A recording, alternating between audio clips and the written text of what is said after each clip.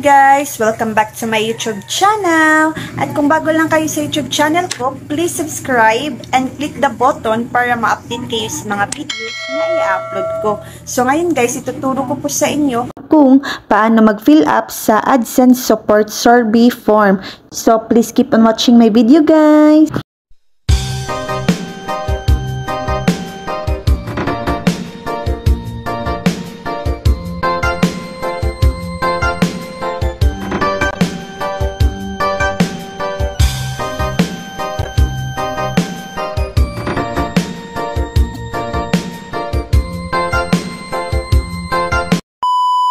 Hi guys! Ngayon naman guys, isi-share ko po sa inyo kung paano mag-fill up sa AdSense Support Survey form. Punta lang tayo dito sa Gmail. Click lang natin tong Gmail.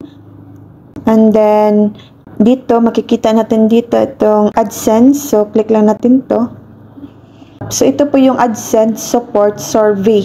So, how did we do? Ito guys, so click lang natin to. Ito yung makikita natin sa survey. So, click natin tong take survey. And then dito, tell us about your experience. So overall, how is satisfied are you with the results you get from AdSense or Google Ad Manager? So, ito lang yung piliin natin guys. Extremely satisfied. Click lang natin tong circle. So, ayan. Then dito, sa ibaba, rate your most recent interaction with your support specialist. So, click lang natin tong extremely satisfied. And then, is your issue resolved? So, click lang natin tong yes.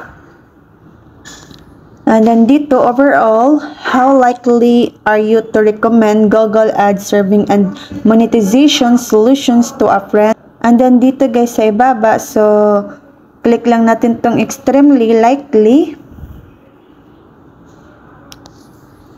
And then dito, do you have any additional feedback? So, type lang natin dito. Thank you so much.